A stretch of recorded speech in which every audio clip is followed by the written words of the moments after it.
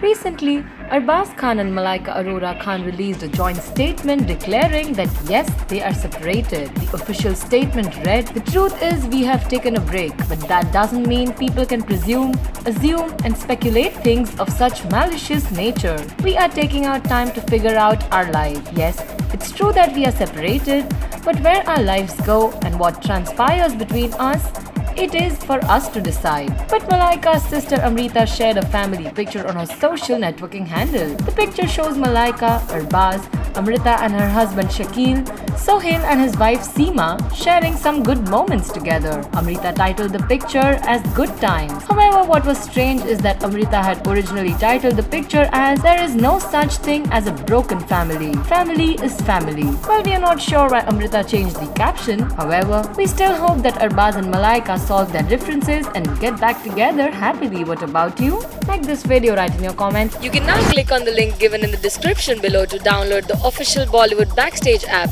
for the latest news and gossip. So don't forget to subscribe to Bollywood Backstage.